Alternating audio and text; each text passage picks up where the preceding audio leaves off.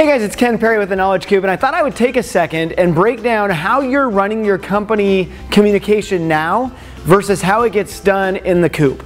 So let's start with the way questions are asked. Right now, a lot of you are using email to ask questions. Some of you have set up a scenario desk where you could ask a question to a scenario desk and then get that reply. Well, that's great and, and you could do it, but what happens is the email goes out and then the, the information's dead. So if I send an email one to one, it's going to a scenario desk that may answer it for me, but everybody else is missing out on that answer. Even if you group everybody in that scenario thing, number one, you get a gang of emails, but then number two, you're still, it's dead. Any new people that come into the company don't get any of that information. So the information just dies right there. In the Knowledge Coop, everything is indexed. So if I asked a question in the Knowledge Coop, it's actually going to be directed towards the person who can answer it. But not only that, it's going to be there forever and it becomes a conversation.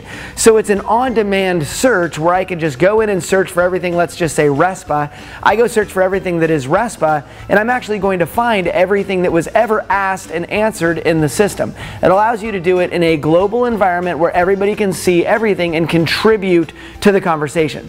All right, so that's how you're doing questions. Let's look at documents. Right now, most of uh, the people out there are using some sort of either SharePoint or some sort of drive-based system where somebody has to click on like H drive and then uh, policies and then, you know, and they just go down this giant chain of things. With the Knowledge Coop, all you do is you upload every document you, you have, every document you want people to see. Once you've uploaded all those documents, each one of them is indexed in the system. So if I type in any word, and let's use RESPA again, it's going to show me every single document that's in there that is, is either has RESPA as a tag or RESPA is a word in that document. So no longer do you have to go down some giant chain of folders. You just type in a word and you can find every document in your company videos. Right now, a lot of people are not using videos, and they really need to be. If you look at YouTube and how it's made people famous, I mean, there are people on YouTube who just shoot YouTube videos who just are like super famous just because they're on YouTube. Uh, think about that within your company.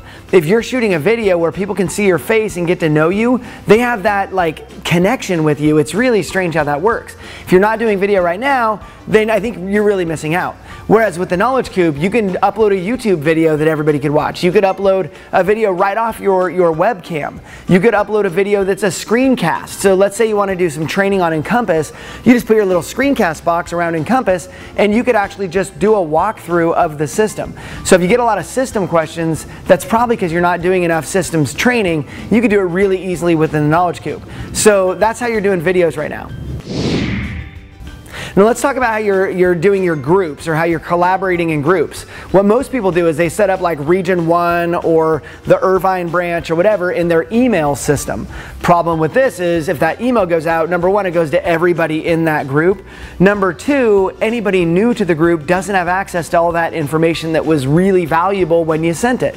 So you end up with these emails that just kind of get stored on different people's individual servers. Some people just save them and never delete email, which then just clogs that whole thing up.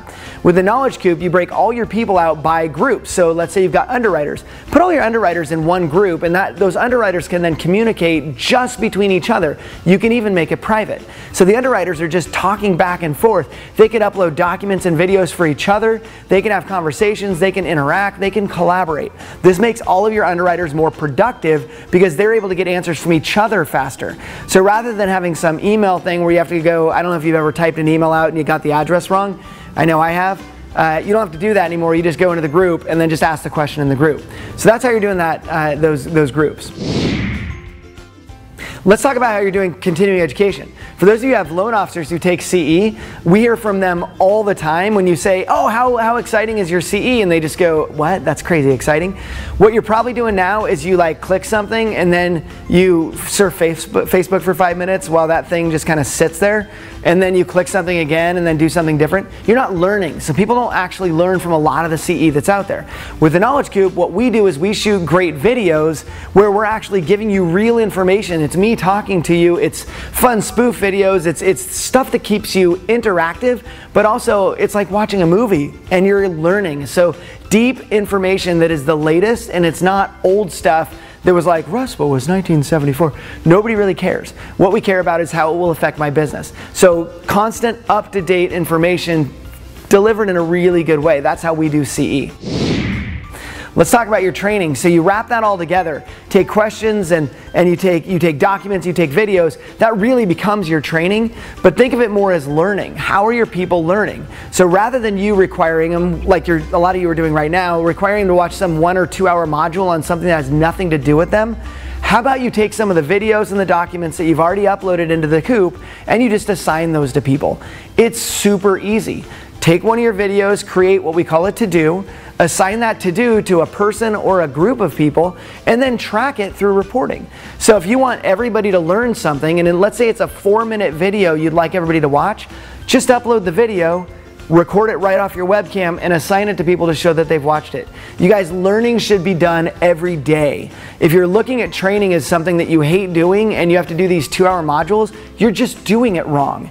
Within the Knowledge Coop, all you got to do is upload information you want people to see, assign it to them, and then you can prove that they've watched it and that they've seen the information you wanted. Super easy because it should not be that tough. If you're sitting around waiting for three weeks for IT to upload something into your system, you're doing it wrong.